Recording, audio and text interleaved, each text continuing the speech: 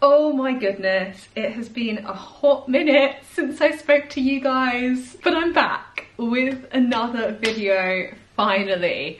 This has probably been the longest break I've ever taken from YouTube and it is primarily because of the topic of today's video, which is a very important actuarial exam. It's SP8, it's time for my SP8 retake and I've been really focusing on studying for it in the past few months. I'm feeling incredibly nervous. This is probably the hardest I've studied in many, many years. And honestly, it's unlike me to cut out other things in my life and just focus on one single thing. I am the queen of multitasking. I like to be keeping myself busy, but honestly, this exam is just too important to risk not spending enough time on or risk just having my attention taken away. So I really have been focusing. For some background, for people who don't know me, I'm a student actuary. I've got one exam left out of the 13 professional exams you need to pass to qualify as an actuary. This particular exam I've sat once before earlier this year and I failed it. I am desperate, desperate, desperate to qualify because I've been working now for four years and I've been sitting exams for so long, every single year, literally since I was 16, sitting my GCSEs through to uni, through to then straight into professional exams. And honestly, I'm feeling the burnout. I need a break from studying and exams. And my only way out is to pass this exam and qualify as an actuary. So that is the goal. It's a single paper. It's my first actuarial exam sitting where I'm only taking one paper, which has made things easier. I've been able to focus all of my revision on just the stuff I need to know for this paper. It's the general insurance pricing paper on all things pricing general insurance policies. So your motor insurance that you might buy, how might we price that? What factors go into determining the premium that you are quoted? That's what this exam is all about. And lots of other statistical modelling stuff, reinsurance pricing, credibility theory. And then it covers things like aggregate claims distributions and reviewing the pricing of past business, past profitability, and how that might flow into the pricing of new business. But it requires quite a lot of general insurance industry awareness understanding of all the different lines of business you can get, your commercial lines, your personal lines, the risk factors for those different lines of business, what sort of risk exposures you have, how you might model catastrophes like hurricanes, earthquakes, emerging risks like cyber insurance risks. There's just a lot to it and I am not a pricing specialist. I have never worked a day in general insurance pricing in my life. I work in general insurance, but generally in reserving mostly, with a few other peripheral bits on the side, but never pricing. And unfortunately, a lot of people who are also sitting this exam, each sitting, do work full-time in pricing and have worked full-time in pricing for four years or more. And so this is assessing them on stuff they do day in, day out. And then there's little old me who has never had hands-on experience of this stuff. So I am solely relying on the course notes and my past paper practice. And for all of those reasons, I can kind of see why I might have failed last sitting. In hindsight, I probably didn't do enough practice papers. I've fixed that this time. I've done lots of practice papers, but I am feeling worried because I have marked my own past paper practice and I'm not quite getting the scores that I want to be getting. I'm either scraping a pass or failing them sometimes. Even the paper I attempted yesterday under exam conditions, I failed that, which is not filling me with confidence because the exam's tomorrow, by the way. Did I mention that? Yeah, we're now at nearly 1 p.m. on Monday. The exam is at 10 a.m. on Tuesday. But also I've got to bear in mind that these exams are so subjective. Maybe I'm just being a harsh marker on myself, you never know. And maybe the adrenaline of the exam will get me writing faster and thinking of more points. I don't know, I'm just praying for a miracle right now because I really want to get through this exam. So, fun fact, I actually haven't left the house since Friday. It is now Monday that is not healthy, everyone. I don't recommend that. I don't know how it happened. So this morning I've been a bit worried because I'm worried I'm going to burn myself out before the exam. I started studying early this morning while eating my breakfast and I just had this headache when I was looking at my screen. And so I decided I just need to take it easy for the rest of the morning. So I have not done much study this morning since then. I've just had a shower, tidied the house a little bit, straightened my hair to make myself feel better. and I'm about to take myself out to grab an iced latte. I just need a little bit of a stroll, a little bit of stretching of the legs, just a little bit of a reset to give me a little bit of energy for the final push, the final cram this afternoon and this evening. So yeah, I'm heading out, heading out the house, let's go.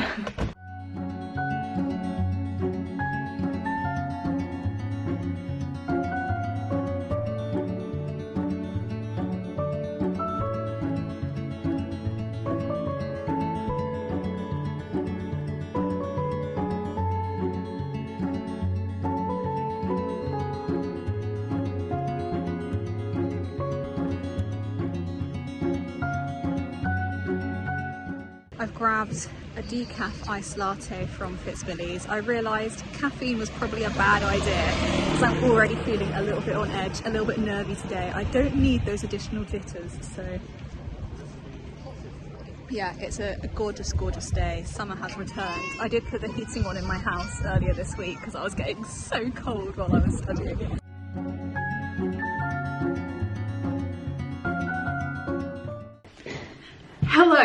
We are back at the desk. I am refreshed. I am ready to go. It's 10 to 2, so getting later on in the day, really need to get going. This is another little treat that I picked up in Fitzbillies. It's a cinnamon croissant bun, I think they called it. It smells great. I've just popped it in the microwave. I'm looking forward to that. And the strategy is to update my notes doc, which I've currently got up on screen. And my notes doc is supposed to summarise answers from loads of different past papers that I've attempted. And it's my central sheet of notes that I reference during the exam if I forget anything or need to prompt my memory. I've done quite a few past papers now, so this summary notes doc has reached a very large amount of words. I will give you five seconds now to have a little guess how many words are in my summary notes doc for the exam. Have a guess. What do you think the word count is? Okay, well the answer is 38,365 words. 38,000, over 38,000 words in my summary doc.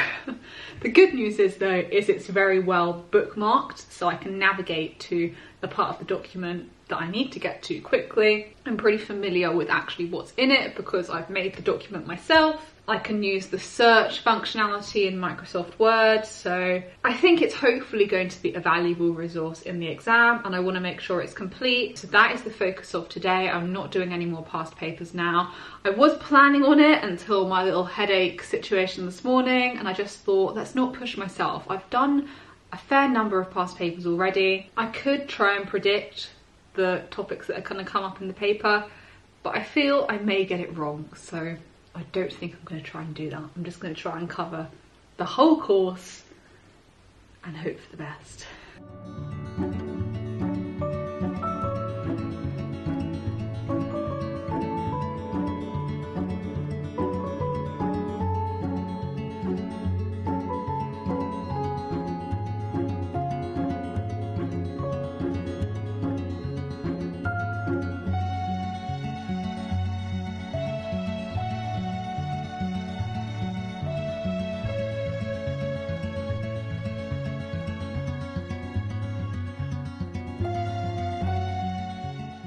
Okay everyone, I've just grabbed some food.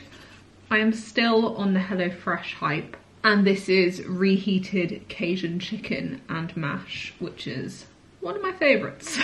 Quite pleased I cooked last night so I don't have to worry about cooking this evening. I literally stuck this in the microwave for five minutes. and obviously, I'm eating at my desk.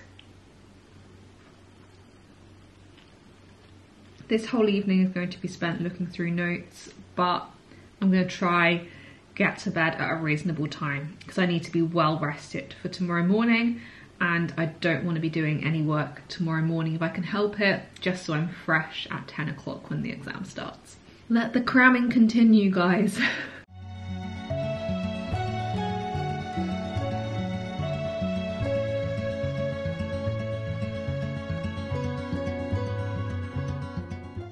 Um, everyone, the day has arrived and let's just get this thing done, you know? I've got seven minutes, everything is set up. I think I'm a little bit more organised than I have been in some recent sittings where I've been rushing in the last five minutes to have everything set up. But today, exam platform is up. All my notes documents are up to refer to. I've got my online course notes there. They have been glitching, but I think I fixed the glitch by using the online version rather than the app. So I'm gonna hope that works. Calculator just in case, but I normally use a spreadsheet for my calculations. My notes, I made a list of all the topics that came up in last time's paper. I know I said I wasn't gonna do this, but it struck me as quite a good idea to slightly anticipate what they're gonna ask me about. So I think Here's me predicting the future like a true actuary would. GLMs, credibility theory, anything on reinsurance, whether that's reinsurance pricing or planning a reinsurance program, assessing profitability or investigations, aggregate claims distributions. Any of those. They're all kind of quite common question types that didn't come up last sitting. Credibility theory hasn't come up for a while, like definitely not in the last two sittings and it normally averages about once a year. So I reckon they're going to ask me a credibility theory question, which is why I've been reading over it this morning. Anyway, also got my prompts of ideas, lots of um, acronyms that used to be useful in the days of closed book exams, but are still useful as a memory jogger. Tables in case I need to look up any statistical distributions. For example, I might have to do a chi-squared test, at which point I need to look up percentage points in a chi-squared distribution. There you go, percentage points in a chi-squared distribution. But I'd say overall this gets a lot less use than it used to get in the early actuarial exams, which are much more maths heavy. That's it. Phone is at the ready. I'm just gonna get my timer ready because I set a timer on my phone. I actually set the timer for three hours, 10 minutes because the exam is three hours 20, but I like to give myself a bit of warning so that I have time to upload to the exams platform, exit the file before the end of the exam, etc etc. I am gonna time myself minutes per mark. That's the one thing I'm being so strict on today because it's the one thing that's under my control. New strategy that I'm implementing this time because it worked for SA3 last time and I didn't do it in my last sitting for SP8 and it is starting with the last question in the paper first because the last question is normally worth the most marks and then I will work backwards through the paper. So I do not want to be under a time crunch, which I often am, and missing out on the big mark questions. That would be bad. Anyway, we've got three minutes, so I'm gonna stop talking to you. Let's just see how it goes, you know. I've put some work in, I've tried to position myself in as best a place as I possibly can to give myself the most chance of passing this exam, but there are factors outside of my control, you know? We'll see. Wish me luck. Bye.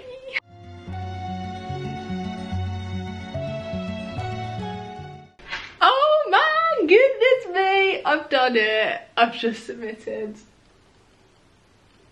That's it. Oh God, I am so relieved. I just feel relieved to be done. That is the overriding emotion right now. I don't know. I don't know how it went. I don't feel devastated at the end of the paper. A lot of my predictions were correct. What can I say?